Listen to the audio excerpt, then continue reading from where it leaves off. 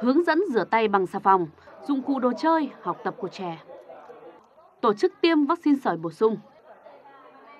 Kiểm tra, giám sát các ổ bọ gậy tại khu dân cư và phun hóa chất diệt mũi trên diện rộng là những biện pháp được ngành y tế chú trọng triển khai trong đợt phòng chống dịch bệnh này. Từ nay đến cuối năm thì sốt xuất huyết sẽ dần dần sẽ giảm xuống. Ờ, tay chân miệng thì cũng không tăng nhiều so với ờ, những cái năm trước. Tuy nhiên dịch sởi thì có tiềm ẩn nguy cơ ờ, sẽ tăng cao vào mùa đông và mùa xuân của năm 2019 nếu như chúng ta không tổ chức tốt cái việc tiêm sởi đầy đủ và đặc biệt là tiêm bổ sung sởi cho trẻ từ 1 đến 5 tuổi. Hà Nội hiện đang là tâm điểm của dịch sởi tại khu vực phía Bắc.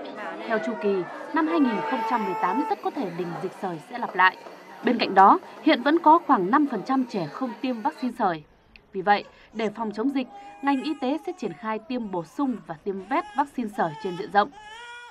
Tới đây chúng tôi tổ chức cái chiến dịch tiêm vaccine sởi cho 57 tỉnh thành phố. Từ nay đến tháng 2 năm 2019 là chúng ta phải hoàn thành cái việc này. Tất cả các đối tượng trẻ từ 1 đến 5 tuổi sẽ được tiêm vaccine EMA. Thế đối với các à, bà mẹ thì chúng tôi cũng đã có những cái khuyến cáo là những cái người trong phụ nữ tuổi sinh đẻ trước khi quyết định có cái mang thai thì nên đến các cơ sở y tế để có thể tiêm vaccine EMA, MMA hoặc là tiêm vaccine sởi. Thế rồi đối với trẻ dưới 1 tuổi thì chúng tôi cũng đã có những cái quy định là gì là sẽ tiêm sớm hơn.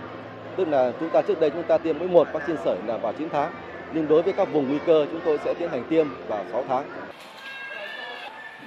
Tại Hà Nội, việc tiêm bổ sung vaccine sởi cho trẻ từ 1 đến 5 tuổi sẽ được triển khai bắt đầu từ tháng 11. Tuy nhiên, để triển khai được việc này phụ thuộc rất lớn từ ý thức của chính người dân. Thì việc đầu tiên là giao cho các cái uh, chính quyền địa phương, uh, tổ chức dân phố, uh, cho những uh, cộng tác viên để đến tuyên truyền, vận động, thuyết phục để người dân tự giác đối với mình tiêm chủng. Và hai nữa là uh, tiêm để phòng dịch, tiêm để chống dịch là biện pháp bắt buộc. Đây là cũng là cái mà cần phải truyền thông để cho người dân hiểu và tự giác đối với mình đi tiêm chủng. Bên cạnh việc tiêm vaccine sởi bổ sung, rút kinh nghiệm từ dịch sởi năm 2014, ngành y tế cũng chỉ đạo quyết liệt các cơ sở điều trị tuân thủ tuyệt đối nguyên tắc phân luồng, phân tuyến bệnh nhân, tránh tình trạng quá tải không cần thiết, gây nhiễm chéo trong bệnh viện.